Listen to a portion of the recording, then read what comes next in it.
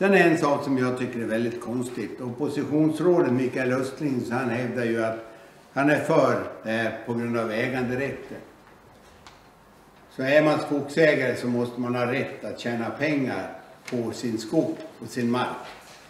Men med vilken rätt går skogsägarna före vi som har stugor där ute?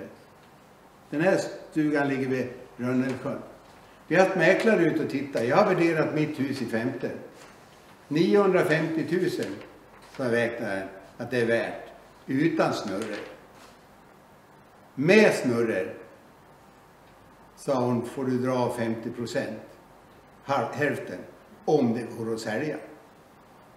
Men vad rätt har markägare med skog att göra vad de vill när vi förlorar så mycket pengar? Och då har vi räknat ut att det pengarna och mer till som kommun får i bästa fall. Det har vi betalt i förlorat fastighetsvärde på våra hus där ute.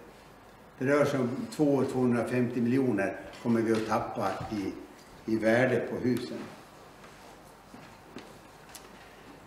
Ja, för att sammanfatta alltihopa det här då.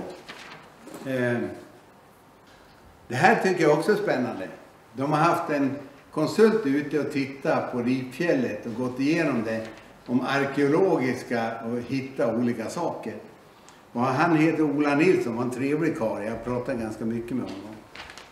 Eh, han har hittat då 20 nya fornminneslokaler på Ripfjället som ingen vet om. Men han har hittat 20 stycken. Eh, men det vägrar VPD att tala om, inte ens för Länsstyrelsen, fast Länsstyrelsen har sagt att vi vill veta det. Men det vill de inte berätta. Så om vi ska sammanfatta allihopa så är jag orolig över många saker.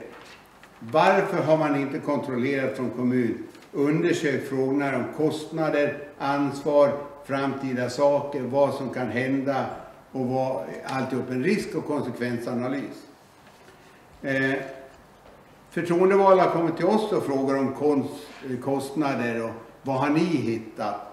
Det är ju de som ska ta fram det och, och eh, med sina tjänstemän. Det borde inte vi som vanliga medborgare behöva göra. Eh, det här med arbetstillfällen, hur mycket arbetstillfällen det ska bli, det tycker jag också man borde kunna räkna på hur mycket utländsk arbetskraft det är som kommer. Eh, om 20 år, vad händer då? Vem kommer att betala det här? Så, Så ser de ut, armerade, innan de fyller igen dem med betong. Frågan är vad vi vill ha. Vill ni ha den övre bilden eller vill ni ha den undre? Jag vet vad jag vill ha.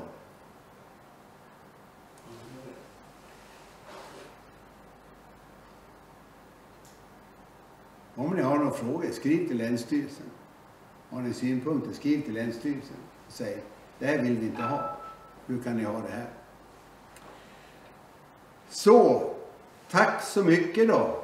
Det vart en lång presentation, men det vart ingen kaffe ändå. Men det beror på corona. Tack så mycket.